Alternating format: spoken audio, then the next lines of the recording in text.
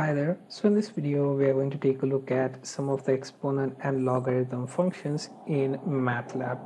So let's create a new script and let's say I created a script and saved it with the name sample.m. Here I'm going to create my first exponential. I'm going to use y equals to exp and then i into pi okay so if I output this then what will happen is it will print out the value of y which is exponential value with real and imaginary number here okay?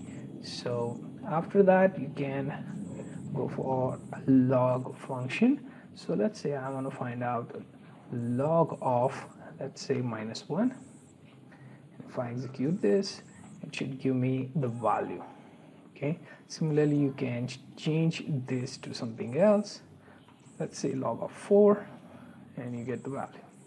Okay so uh, when you're doing the exponential you make use of exp method in case of log you use log method. Similarly there are multiple log methods or functions. Okay for example we have log 10 and here you can simply pass let's say real max and execute this. And get the value for real max with uh, base 10 to your log okay? Similarly you can get log to the base 10 for EPS value and you get the minus 15.63 now similarly what if I want to have log 1p here?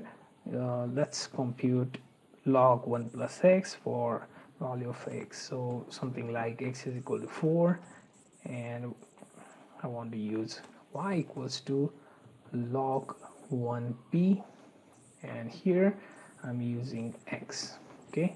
Now if I execute this it should show me the value 1.6094 and as you can see here you get that value. Similarly I can have log to the base 2 and for that let's say I have value of x equals to pi okay? And then y equals to let's say log 2 of x okay? And then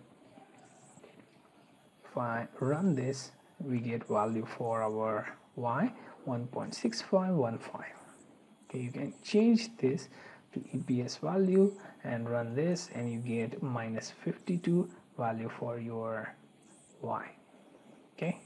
So we have seen exp function log function log 10 function which is logarithm to base 10 then log 1p and then log 2 and then there is one more function which is real log which is natural log for your non-negative and real arrays.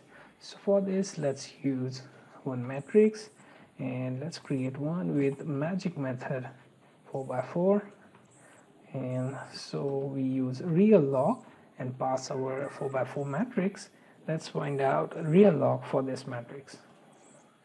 And you can see this is the output that we get when we use real log. Okay so this was a short introduction on some of the functions that you, you can use for exponents and logarithms in MATLAB